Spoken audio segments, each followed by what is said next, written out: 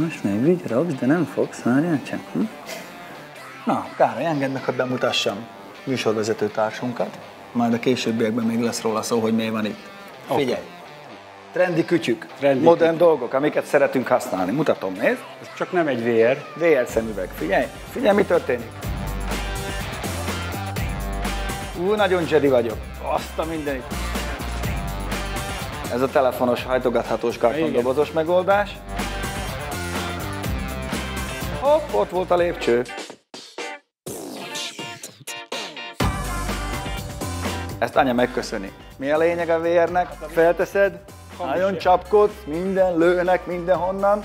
Hamis jeleket kapsz, mind látás, mind hallás. Igen, ebből ugye az következik, Nézzük, hogy hogy- le tudsz verni valamit. Igen. Hát olyan helyre kell bemenni, ahol nem tudsz leverni semmit, és lehetőleg puha. Egyrészt. Másrészt meg ugye nem csak VR van, hanem vannak a mozgásérzékelős perifériák is, tudod, amiket a különböző konzolokhoz kapcsolsz. Ott legalább látsz. De, trendi kütyű, figyeljé! Az ott egy komolyabb méretű drón volt.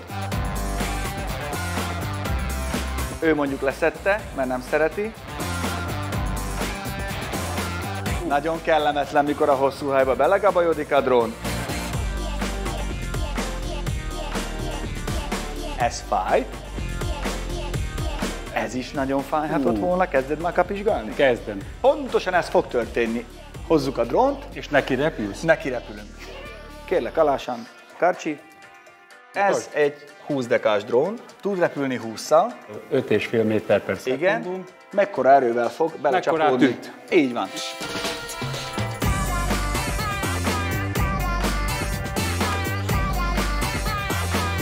Na. Szerintem tökéletes nyomidrónos voltam.